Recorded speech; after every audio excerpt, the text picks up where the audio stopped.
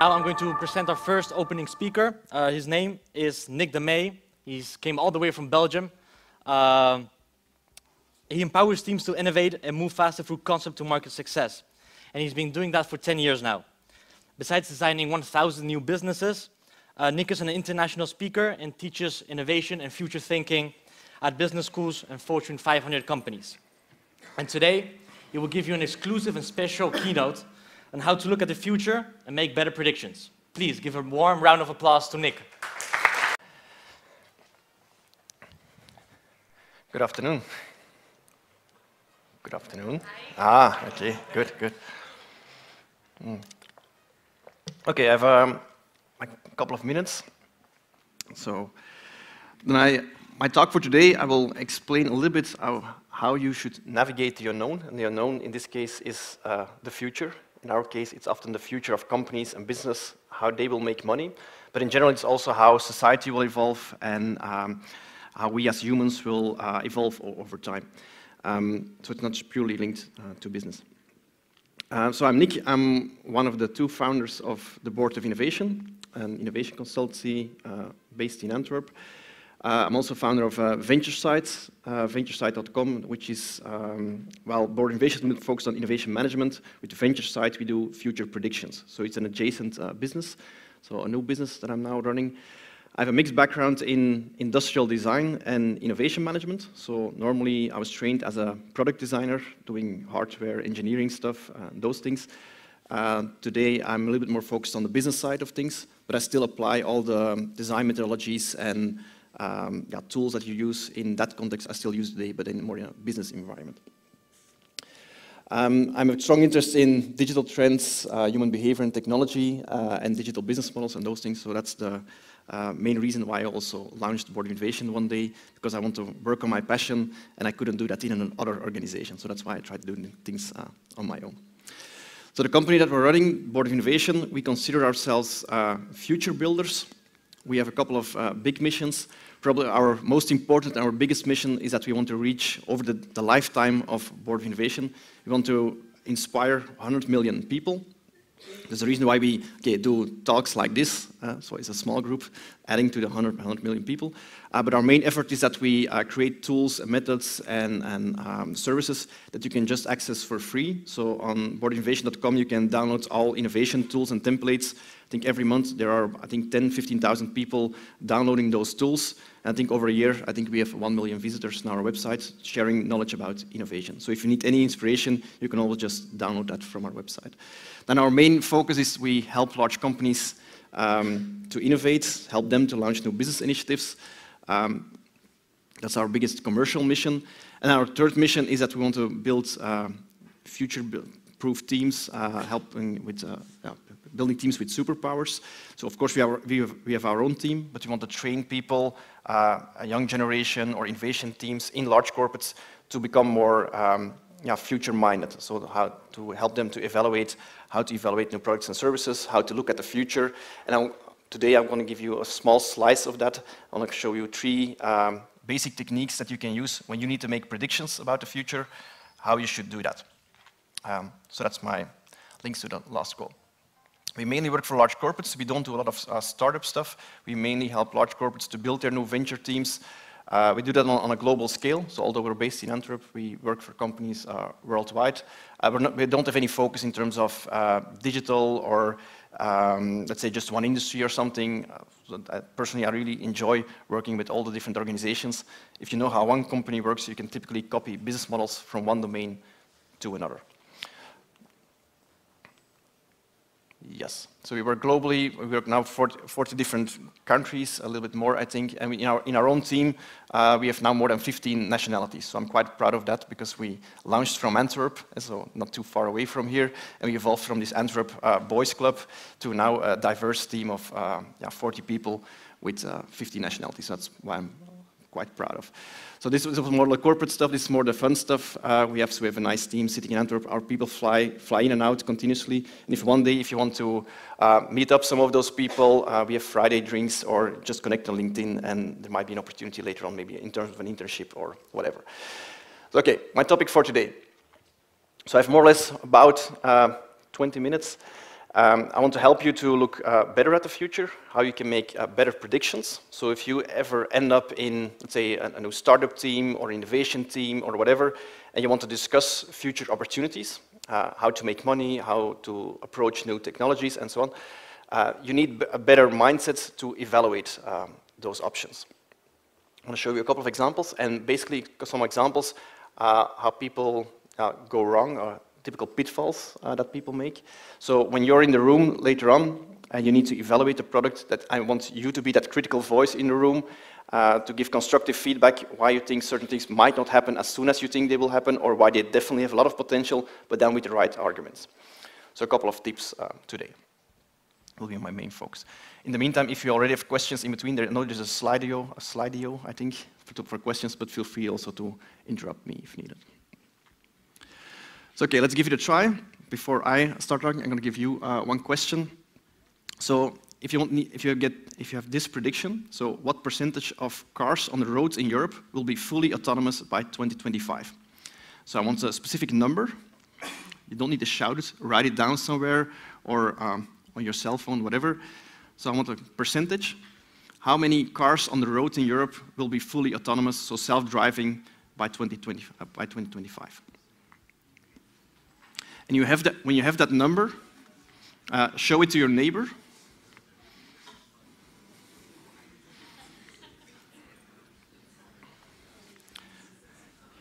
You're not allowed to use Google, so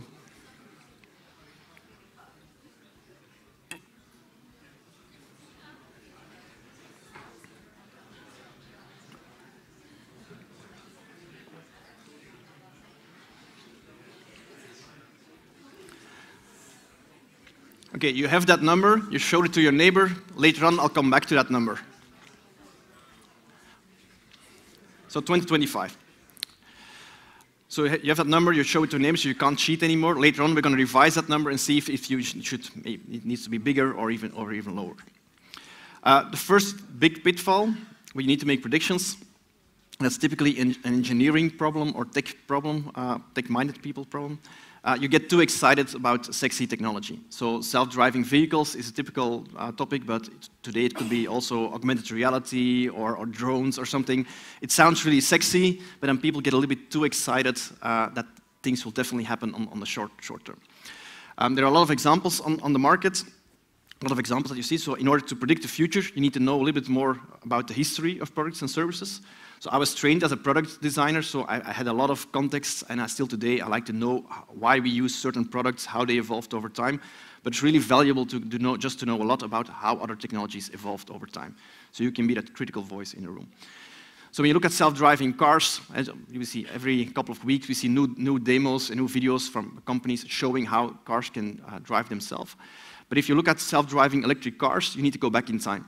You need to understand a little bit where they, where they come from. And if you look at electric cars already, because we're already excited about electric cars, electric cars already were invented uh, more than 200 years ago. And that's really a, a long time, 200 years.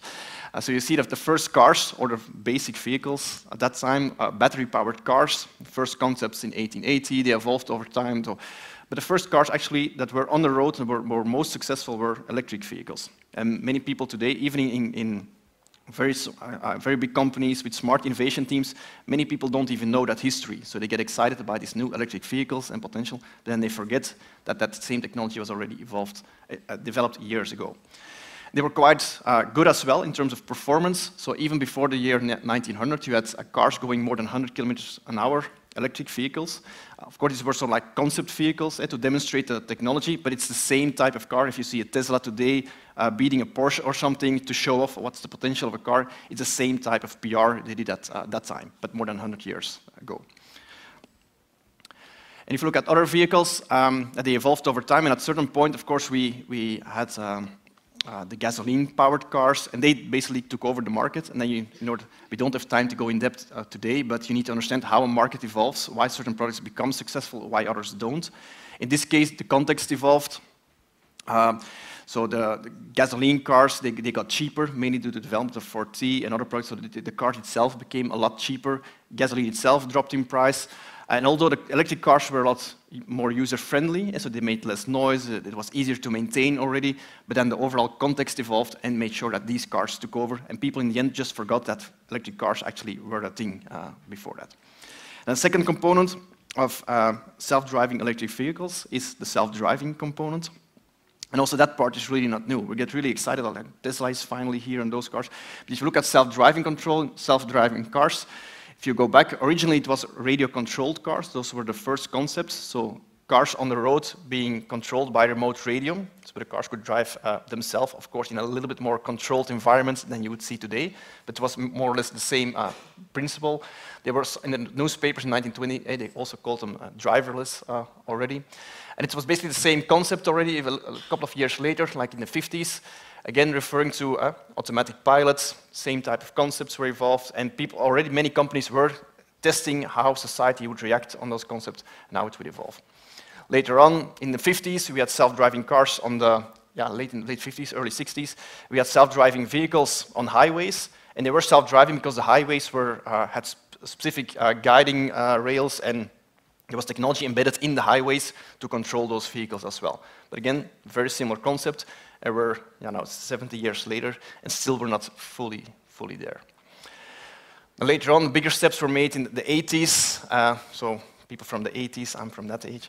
Uh, so you could, uh, could see how it evolved. And it's very interesting if you go on YouTube today and look for self-driving ve driving vehicles from the 80s and the 90s, you could see that typically Daimler-Benz and others already had very smart concepts. With the cameras, of course, they were bigger, computers were bigger, so you needed a, typically a van with all the technology in, in the back, and then they could do self-driving uh, tests on, on, real highways already.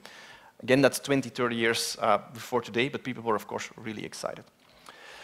Uh, so you need to also say, if you look at technology, going back in time, you need to check for yourself, okay, what's now really different? Because we had definitely the last examples with, from Daimler-Benz. They, they could drive themselves on normal highways. Of course, computers were bigger. But is there something really different why those products will become a success today or will become adopted today? Sometimes the differences aren't really there. So if it didn't work maybe 20 years ago, and it's very similar, it might not work today as well. So it's always good to put things in perspective. A second important lesson that's maybe even more important than the first one because history, okay, you can do some Googling and that's, that's basic, but uh, this is a very important skill. Uh, you need to uh, know your base rates.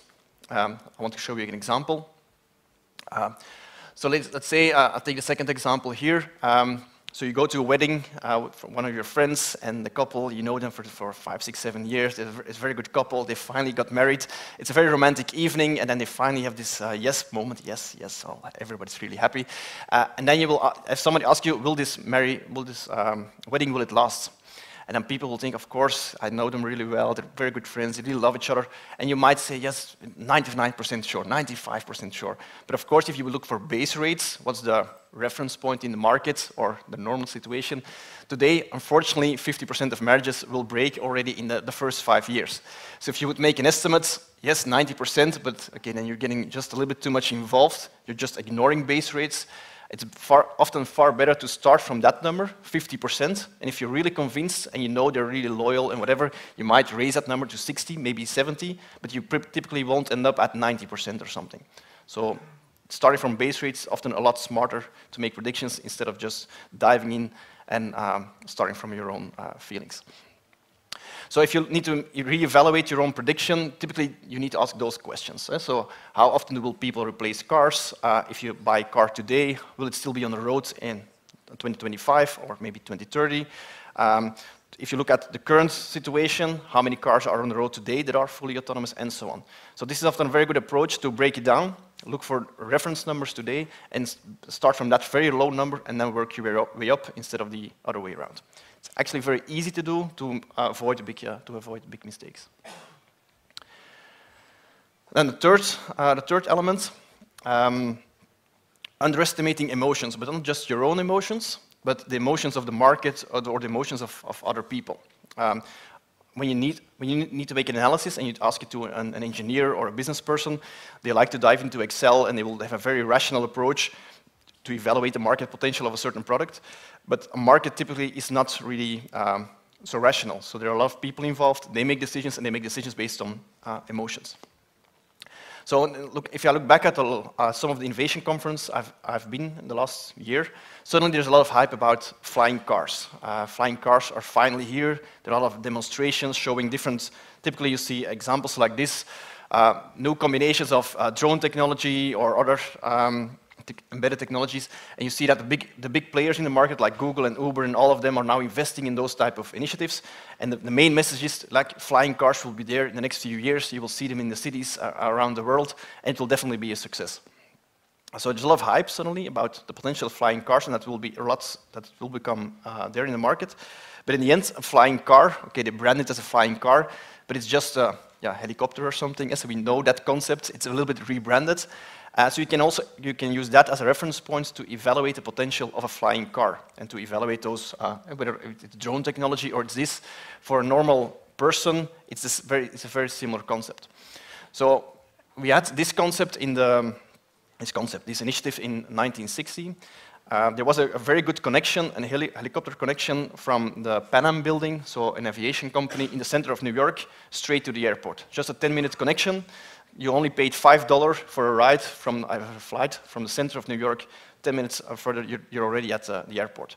They started doing that for their own employees, and very uh, later on, it became like an, if you take a bus or not, you can just take the helicopter from the center of New York to, to the airport.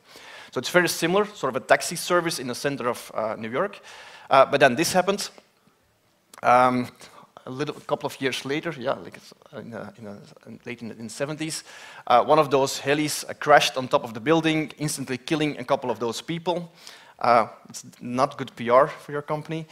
Um, and then also, it's not just the building itself, but there are a lot of um, stuff flying around. You have uh, blades of that heli ended up in another building, so there, were, there was uh, another person killed on the street in front of that building. So you can imagine that has a huge and a big emotional impact on society and how the city will look at those initiatives. Um, and I want to show you, if I'm correct, I want to show you one clip here. Um, somehow, let me see. Yes, here. Hopefully the audio works as well.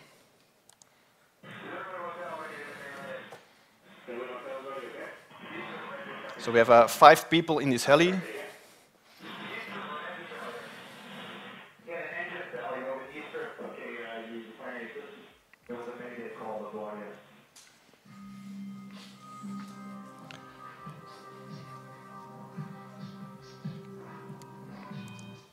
So the reason why I want to show that, and, and sorry for that, because that's, that's actually a crash of um, five people. Let me see here. So we have uh, five people in heli, and today everything is almost live streamed. So even for those five people, and unfortunately they, they died a couple of uh, months ago, earlier this year, um, it's almost live streamed today because those people in the heli, they had uh, Instagram. You can see their pictures online from a couple of seconds before that. They're really happy. Then suddenly the heli goes down. They ended up in the river. Uh, and actually, I'm, i sent this presentation last week, and three days ago in New York, another heli um, uh, crashed in a, on a building now, and again, one person died. Uh, although after, after the taxi service of, in the 70s, they already banned normal heli, helis uh, from the center of New York.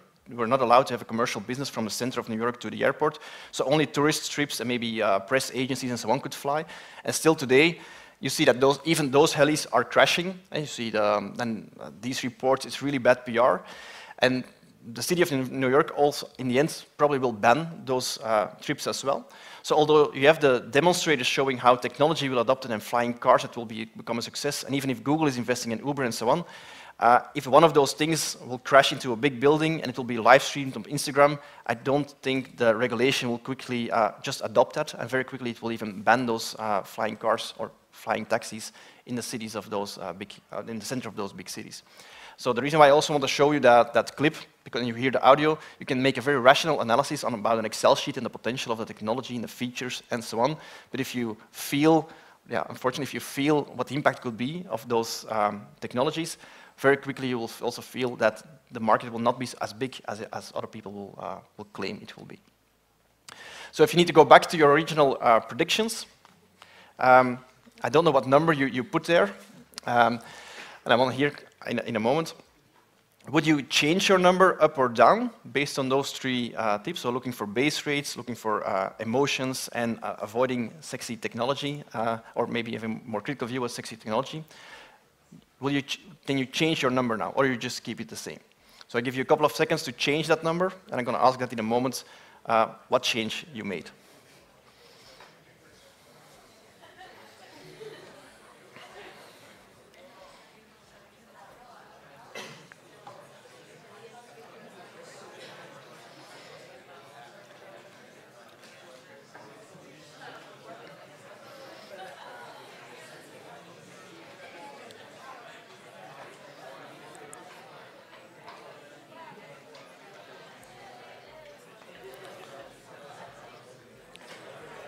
Okay, I'm going to ask a couple of people. What was your original prediction? Who wants to, who wants to share? What's the original number? Zero. zero. And what's the, the next number then, probably? Around 0 0.5. Well, a little bit higher. Was there someone with a number higher than 50%? For, you had 40? Yeah? 20. Sorry? 20%. You had 20%. Originally? 20. 40. Sorry, 40 and 20? 2020, okay. didn't change. Okay, good. Well, that higher? Somebody were higher than 20%? Nobody dares to say anything. Okay. Um, also, if you look at this prediction, this is now 2025, how do you think it will evolve? That's also a good check uh, if it would be 2030 or 2035. So, it, will it double? Will it, will it even be triple? And so on. So it's a good, when you take your own prediction, and then you, you change a couple of parameters, whether it's the context, no, it's not just Europe, it's globally, or it's just, it's just the Netherlands or something. It's always good to take your prediction, tweak some of those variables, and see how you will actually change your number. And sometimes you change your number, and you feel, actually, I don't really know if, whether it's 2025 or 2027 or 2030, and you don't have a good reason why it might be higher or lower, you, you probably miss some information. So that's a good check to uh, maybe look for other base rates or maybe uh, reevaluate your own, your, your first uh, assumptions.